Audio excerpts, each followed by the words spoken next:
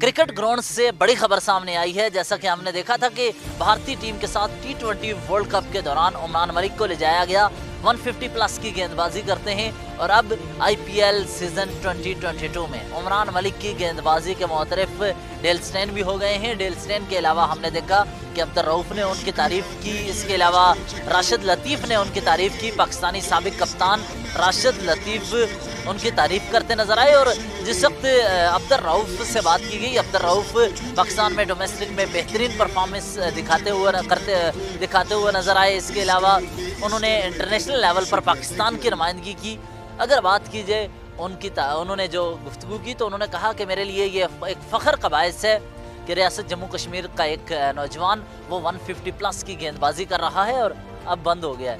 अब चलने चलने दे क्रिकेट ग्राउंड से बड़ी खबर सामने आई है, जहाँ पर Umran Malik T twenty world cup के बाद भारतीय टीम के साथ, जहाँ पर वो नेट प्रैक्टिस में बॉलिंग करते नज़र आए। अब आईपीएल सीज़न 2022 में बेहतरीन परफॉर्म करते नज़र आ रहे हैं।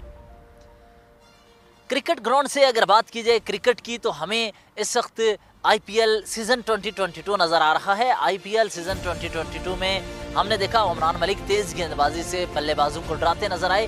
उमरान मलिक की तारीफ़ किस किस ने की? पहले नंबर पर डेल स्टैन उनके मोतरफ नज़र आए। डेल स्टैन ने उनकी तारीफ़ की और कहा कि यकीनन ये तेज गेंदबाज बल्लेबाजों को परेशान करने की सलाहियत रखता है।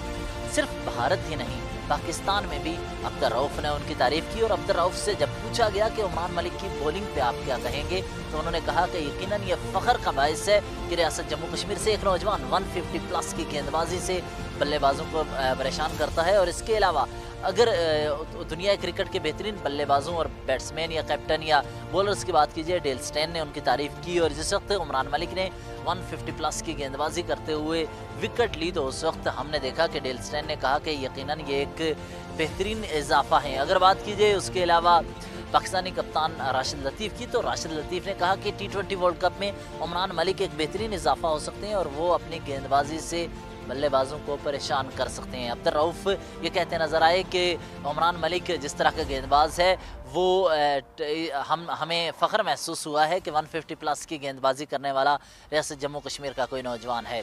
यकीनन नए गेंद के साथ दोनों तरफ़ स्विंग करना पुराने गेंद के साथ रिवर्स स्विंग कर, करना कंसिस्टेंसी के साथ 150 प्लस की गेंदबाजी स्मूथ रनअप बेहतरीन एक्शन और फॉलो थ्रू के साथ वो अगले पाँच से दस साल तक लगातार क्रिकेट खेल सकते हैं। उमरान मलिक के हवाले से आने वाले दिनों में हम गुफ्तू करते रहेंगे। हमारे साथ जुड़े रहिए।